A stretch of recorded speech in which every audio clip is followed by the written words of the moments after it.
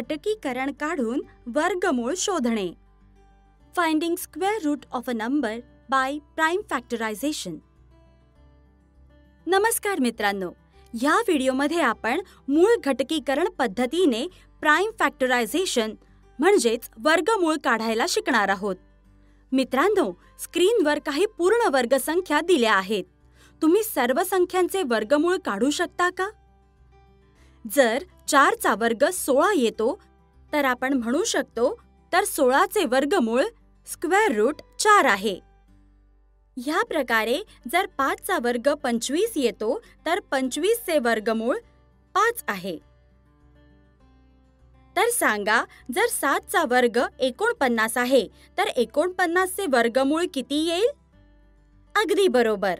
एकोणपन्नासचे वर्गमूळ येईल सात. अशाच प्रकारे तुम्ही सातशे एकोणतीसचे वर्गमूळ काढू शकता का? आपल्याला सर्व पूर्ण वर्ग संख्या नेहमीच लक्षात ठेवणे गरजेचे नाही. कारण अशा वेगवेगळ्या पद्धतीने आपण वर्गमूळ काढू शकतो.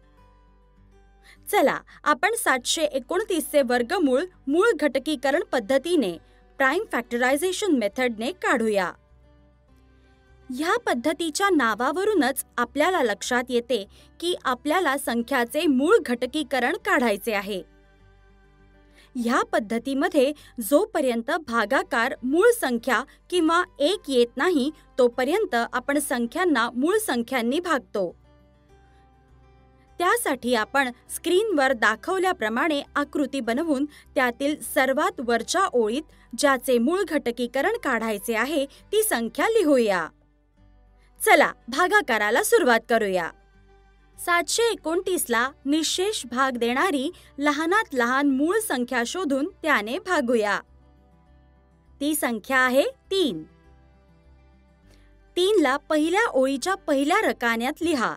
सातशे एकोणतीसला तीनने भागल्यावर भागाकार दोनशे त्रेचाळीस येतो.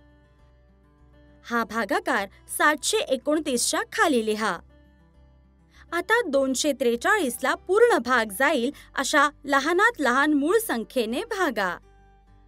ती संख्या आहे तीन. दुसऱ्या ओळीच्या पहिल्या रकान्यात तीन लिहा. दोनशे त्रेचाळीसला तीनने भागल्यावर भागाकार एक्क्याऐंशी येतो. हा भागाकार दोनशे त्रेचाळीसच्या खाली लिहा. आता एक्क्याऐंशीला पूर्ण भाग जाईल अशा लहानात लहान मूळ संख्येने भागा. ती संख्या आहे तीन. तिसऱ्या ओळीच्या पहिल्या रकान्यात तीन लिहा. एक्क्याऐंशीला तीनने भागल्यावर भागाकार सत्तावीस येतो. हा भागाकार एक्क्याऐंशीच्या खाली लिहा. सत्तावीस मूळ संख्या नाही. तीन हा सत्तावीसचा मूळ घटकीकरण आहे. ह्याला तुम्ही ठरवलेल्या योग्य जागी लिहा. सत्तावीसला तीनने भागल्यावर भागाकार नऊ येतो. सत्तावीसच्या खाली नऊ लिहा. आपल्याला माहिती आहे की नऊ हा तीनचा वर्ग आहे. म्हणून आपण चौथ्या ओळीतील पहिल्या रकान्यात तीन आणि नऊच्या खाली देखील तीन लिहू. आता आपल्याला शेवटच्या ओळीतील दुसऱ्या रकान्यात तीन संख्या मिळते जी एक अभाज्य संख्या आहे. ज्या संख्येचे केवळ दोनच मूळ घटकीकरण आहेत संख्या एक आणि तीन. ज्या आपण अशा प्रकारे लिहू शकतो. पहिल्या रकान्यांमध्ये सातशे एकोणतीसचे सर्व मूळ घटकीकरण आहेत. आणि दुसऱ्या रकान्यातील शेवटच्या ओळीतील एक संख्या हे दर्शवते आहे की ही प्रक्रिया संपली आहे. सातशे एकोणतीसचे सर्व मूळ घटकीकरण आपण गुणाकाराच्या स्वरूपात असे लिहू शकतो. आता आपण बघूयात की ह्या मूळ घटकीकरणामध्ये किती मूळ घटकीकरणाच्या जोड्या आहेत. इथे तीनच्या तीन जोड्या आहेत.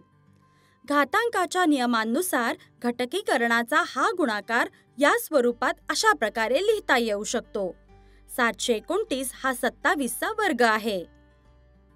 म्हणजेच सत्तावीस हा सातशे एकोणतीसचा वर्गमूळ आहे असे आपण म्हणू शकतो. या प्रकारे आपल्याला सातशे एकोणतीसचा वर्गमूळ मिळाला. मित्रांनो आता सांगा चारशे बत्तीस ही पूर्ण वर्ग संख्या आहे का? जर आहे तर वर्गमूळ पद्धतीने ह्याचे वर्गमूळ शोधा. किंवा नसेल तर अशी संख्या शोधा ज्याने भागल्यानंतर आपल्याला एक पूर्ण वर्ग संख्या मिळेल. तुम्ही व्हिडिओ इथे थांबवून या संख्येचे मूळ घटकीकरण शोधा. आपल्याला हे माहिती आहे की जर कोणती एक पूर्ण वर्ग संख्या आहे तर ती आपल्या वर्गमुळाच्या वर्गा एवढी आहे. आता चारशे बत्तीसचे मूळ घटकीकरण गुणाकार रूपात दाखवा. आपण बघू शकतो की ह्या संख्येचे मूळ घटकीकरण जोडीच्या रूपात नाहीयेत. म्हणजेच ही एक पूर्ण वर्ग संख्या नाही. इथे तीनची जोडी नाहीये. म्हणूनच जर आपण संख्या चारशे बत्तीसला तीनने भागले तर भागाकार एकशे चौवेचाळीस मिळतो जी एक पूर्ण वर्ग संख्या आहे. जिचा वर्गमूळ बारा आहे. अशा प्रकारे आपण मूळ घटकीकरण पद्धतीने वर्गमूळ काढण्यास शिकलो. आणि त्यासंबंधी उदाहरणं बघितली आता पुढील व्हिडिओमध्ये काही नवीन उदाहरणांसोबत भेटूया. धन्यवाद.